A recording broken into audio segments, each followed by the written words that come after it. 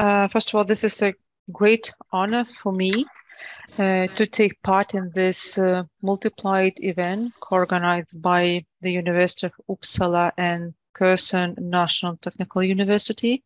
And thank you, Sonia, again for giving me the opportunity to contribute to this event.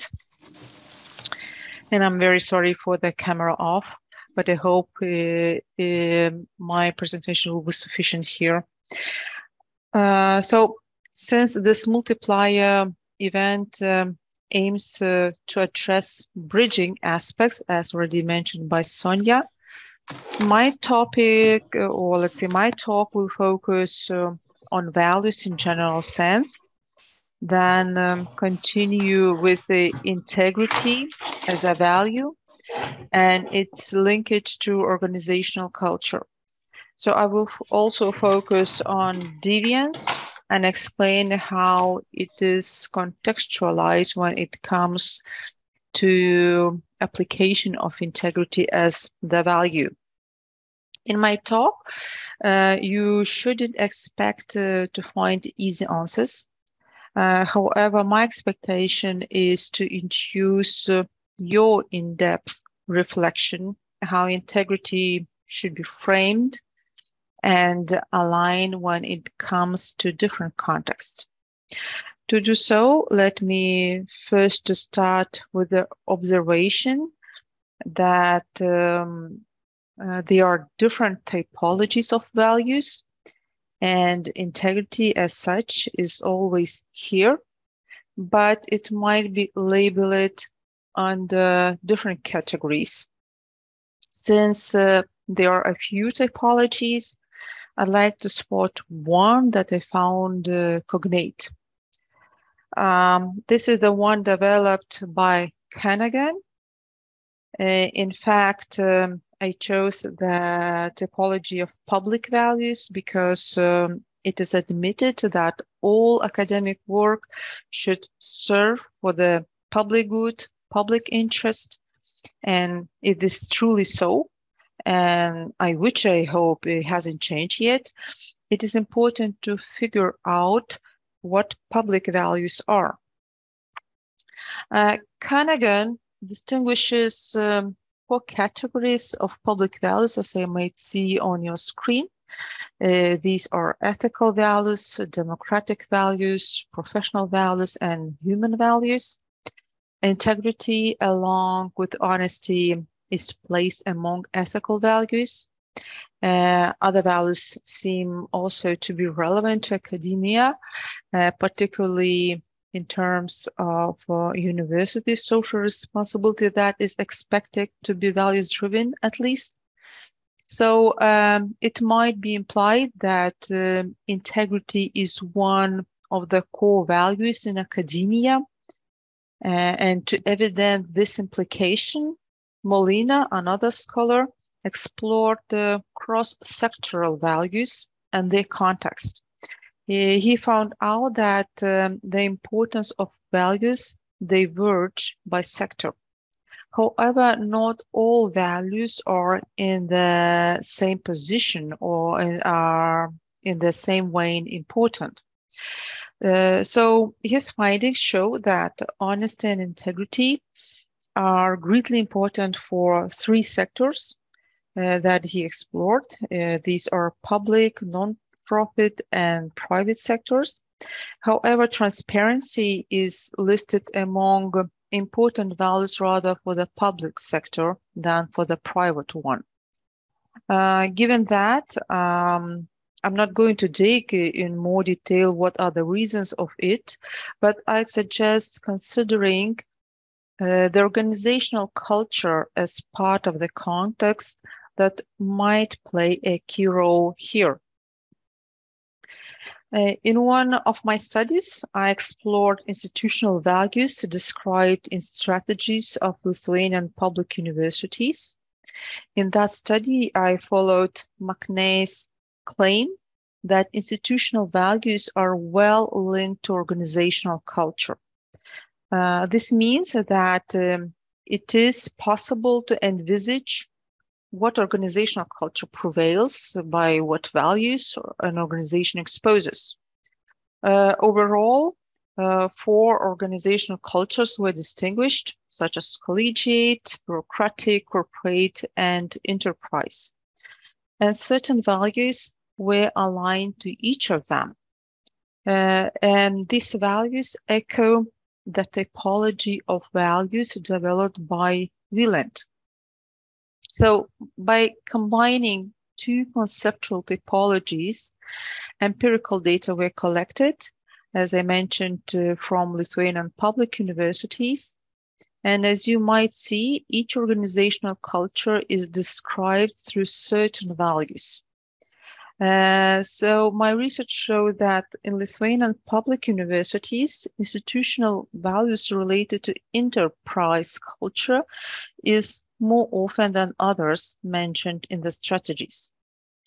Um, nevertheless, um, it still remains unclear whether these values exposed in the strategies are well functioning in practice or um, there are other in expectation what is to be achieved.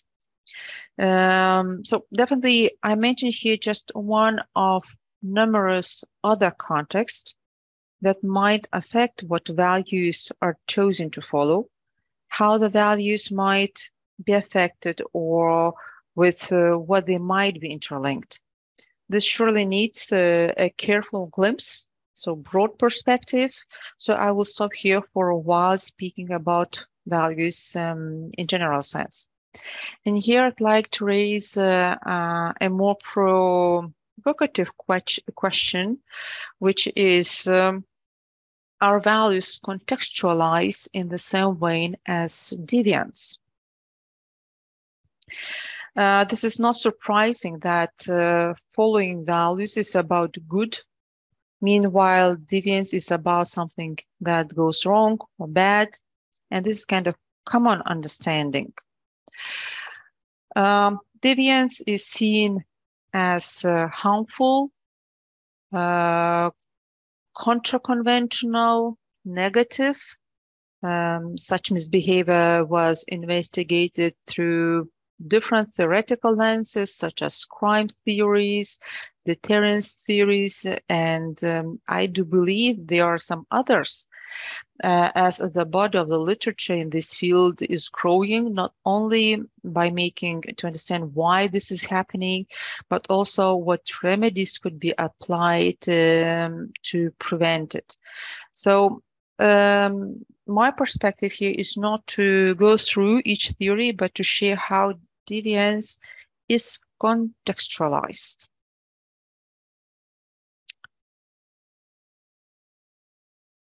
Uh, so about 40 years ago, Hilbert published a study that uh, uh, evidenced the linkage between academic cheating and a prospective behavior in the workplace.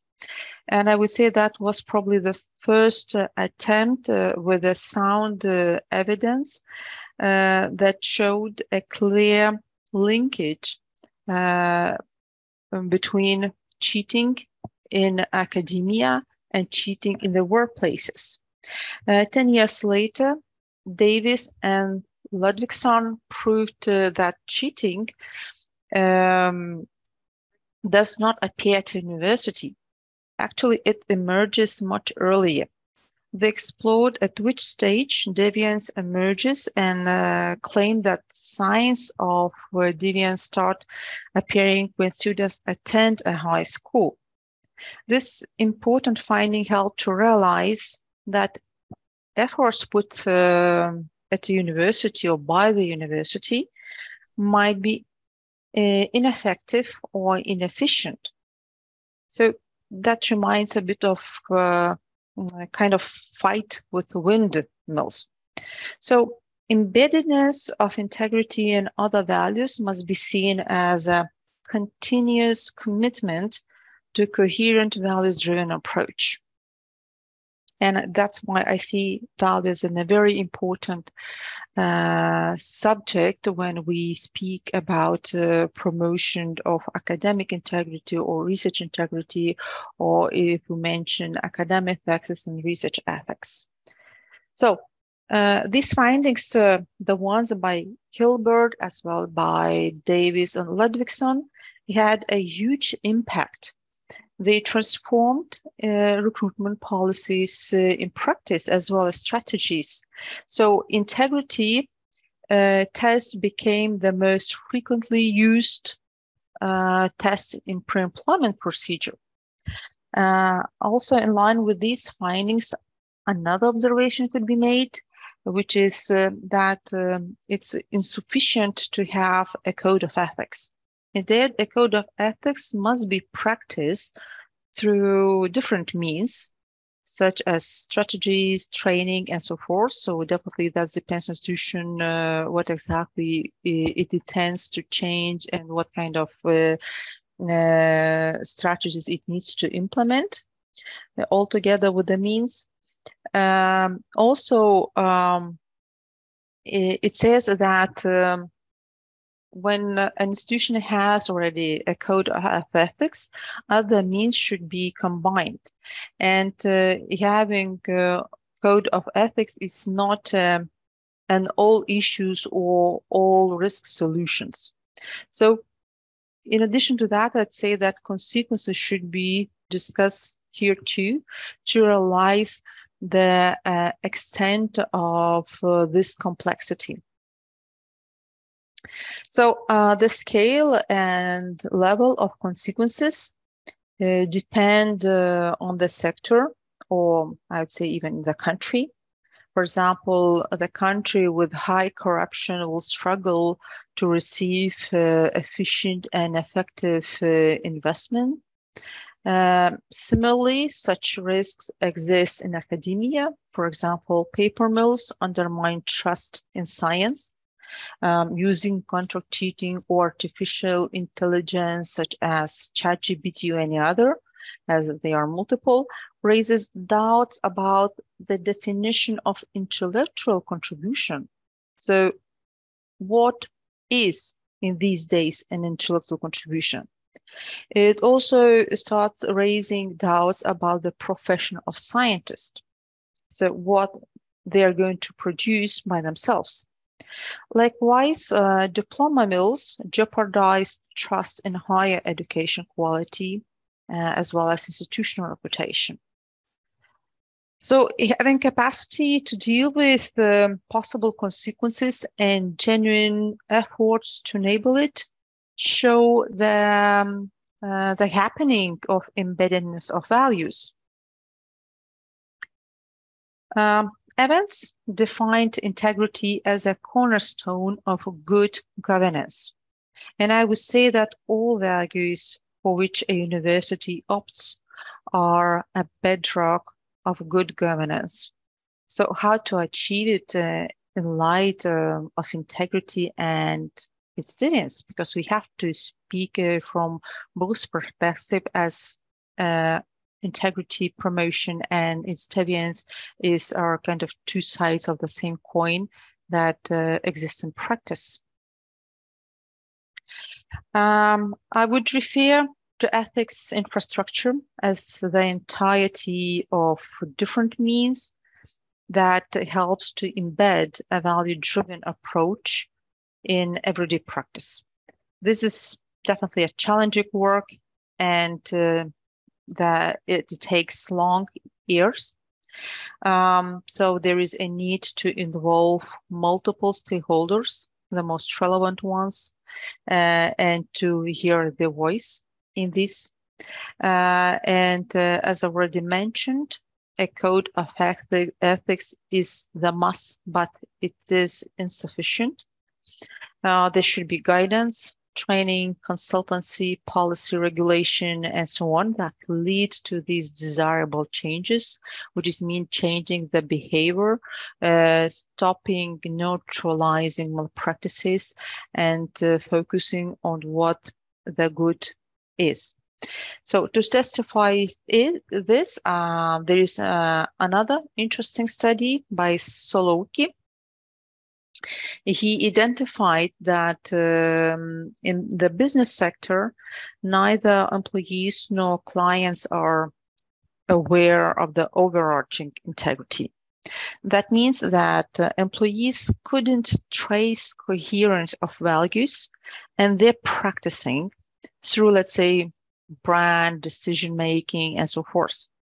So to cope with it, many means and approaches could be used. However, uh, I'd like to focus uh, on ethical governance as uh, a part of good governance as uh, directly interlining how the it works systematically uh, or let's say how this complexity could be um, uh, could be better understood in terms of efficiency and effectiveness in change management.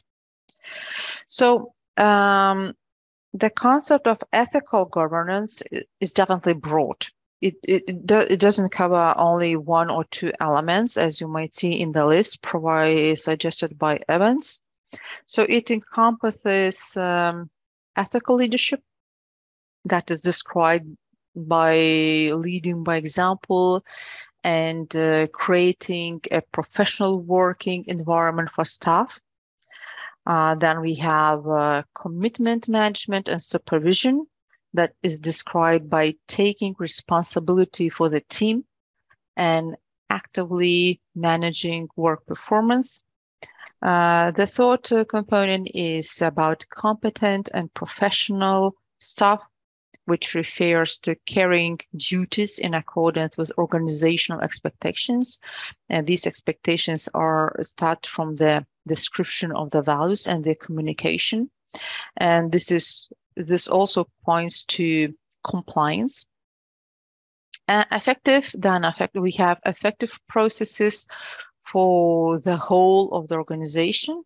And these are described as existence of uh, risk management and compliance with it by all staff so that's uh, like the highlight by Sonia in her presentation that uh, individuals are not only students in academia, but the, that relates to all members of academia. It means uh, teachers, researchers, administration.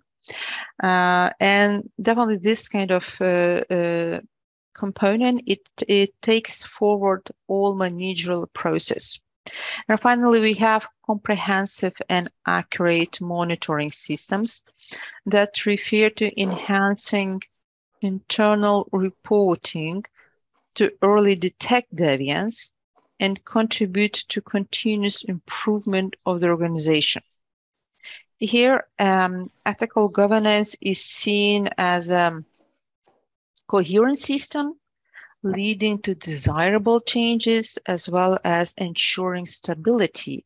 And when I um, mention stability, it means if the values are well described and explained, they should not be misinterpreted due to different situations, but they should be uh, properly followed.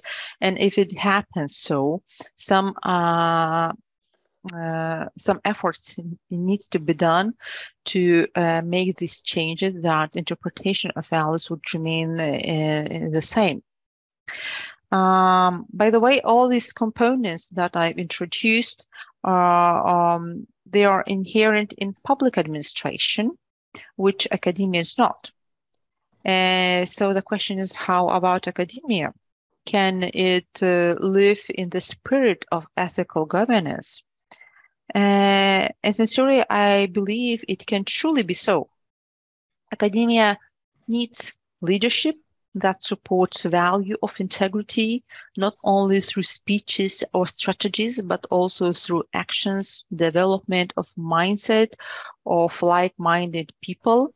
Again, this is um, challenging given the fact that um, academic freedom and autonomy uh, are specific interesting characteristics of academia, um, contributing fragmentally uh, to ethical governance uh, won't give the expected changes so in academia either. By establishing an ethics committee approving a code of ethics, further actions are needed, such as formal, informal, and um, non-formal education, as well as other guidance to ensure compliance. uh, then um, risk should be identified and mitigated. And this uh, step of um, identification of risk and the mitigation is um, another important step that helps to prevent deviance as much as possible. For that purpose, um, additional rules and action might be introduced. Overall, all these need to, to be monitored in a focused manner uh, to grasp uh, the level of advancement in, in embeddedness of integrity and other values. So actually, when I see this kind of perspective, I see this kind of um, I see these uh, components of ethical governance as very likely relevant to any sector, including academia. And for sure, uh, ethical governance is not an alien in Lithuania.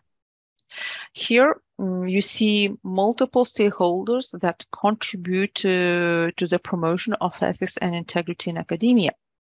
They build ethics infrastructure, which is part of ethical governance. And this is something that I didn't discuss, but uh, I'd like to how the, there is a the uh, ethics, uh, go ethical governance and ethics infrastructure should be differentiated. So uh, just presenting a very small piece that relates to ethics infrastructure in Lithuania. So it consists of uh, here of institutions and organizations, legislations and uh, other rules, as well as uh, awareness raising. So these in bubbles are not are national, sorry, uh, and institutional bodies that bear different roles. Uh, what is essential here that there should be um, a way of complementing it, each other but not overlapping or doubling uh, these roles. So national bodies colored in green, uh, they operate on the principle of shared responsibility. For example, office of the Ombudsperson for Academic Ethics and Procedure that I'm representing is responsible for providing consultancy and training to academia, uh, contextualizing academic daily practice in ethical and integrity terms, uh, handling allegations, um, and so on. Uh, then we have the Office of Equal Opportunities uh, Ombudsperson, uh, who is responsible for deterring discriminative practice in all sectors, including in academia. Meanwhile, the Chief Official Ethics Commission deals with handling of allegations related to conflicts of interest.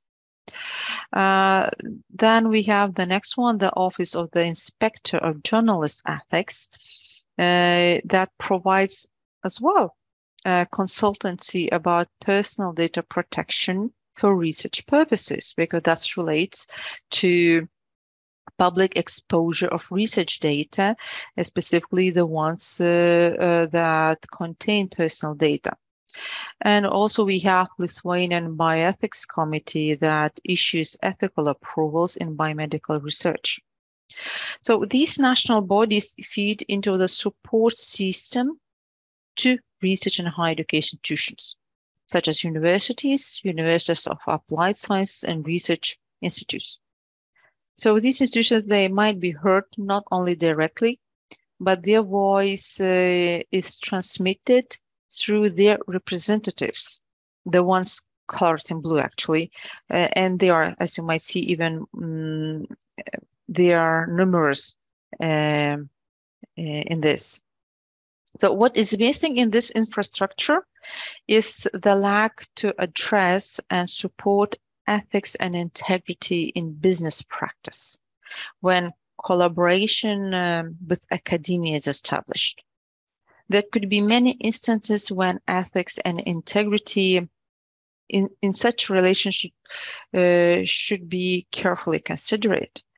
And for example, if we have student internship, research business collaboration, fundraising, and other initiatives where this research and business uh, collaboration uh, could be established, there are always some kind of potential risk that, first of all, should be identified and then the measures taken to mitigate them. So uh, this is just one episode of ethical governance, which is, I should admit, incomplete. However, I think it gives an understanding about some starting points uh, from where we should depart if we want to develop ethical governance with all their components and to see that as an efficient and effective system. What is important to consider in ethical governance is um, a cultural aspect as part of the context. Uh, in academia, international collaboration um, exists for years. That's not something new. Uh, and intersectoral intersectoral collaboration is uh, lately enhanced more intensively for very different reasons. Uh, let's say looking for relevant and innovative solutions. And there, for example, um, rules, communication practice, um, purposes of collaboration might diverge. Likewise, um, research and academic integrity systems might also diverge and actually differ. So there is no need to look even too far. For example, the bridge project partner institutions from Lithuania, Sweden, Ukraine, Czechia, North Macedonia, we have different ethics infrastructure so uh, different ethical governance. However, they are united by universally shared principle of moral conduct because practicing should be complementing each other to develop a strong bond for further advancement. So bridging, ensuring consistency among different sectors, uh, cultivating the same values in the same way is crucial as deviance of integrity is faced um, everywhere at any stage, at, sorry, at any age um, by any community. So it does not seem that there that here the context might have a key role. However, uh, however, context is paramount to consider when it comes to changes management when we want something to change, when we identify some specific issues that we want to cope with and to bring uh, some solutions to to go into these um, universally applied principles of moral conduct. So to end up here, I'd like to congratulate actually the initiative of Uppsala University for having such an intricate topic in the Bridge project to address as well as for gathering uh, interdisciplinary and, intersectoral team. Uh, indeed, this is not an easy task, particularly to find a way how to be on values in an academic context. And I would leave here with an explanation mark the same question that I see is uh, probably a challenging thing in, in each international project. But something that everyone um, uh, should reflect on when uh, going into these practices. And since uh, I started speaking about the bridge project that holds this event, I'd like to shortly share my joy about its outputs. As already Sonia have introduced many of them that have been already published and some others are forthcoming. So um, I would say that some of these outputs of the bridge project such as guidelines on or um, for research ethics and, and, research integrity in citizen science have been endorsed by other countries and I believe um, they will continue to be appreciated worldwide. Uh, and also, I'd like to thank my team and other partners of the Bridge Project who substantially contributed to them. Uh, undoubtedly, there are other useful outputs uh, for academia that were developed by this project team, as already mentioned by Sonia, checklist and other forthcoming guidelines for um, integrity in research and business collaboration. So I do believe that everyone might benefit um, of them. So I make a, a full stop here and uh, I wish you to enjoy this event with zest. Thank you.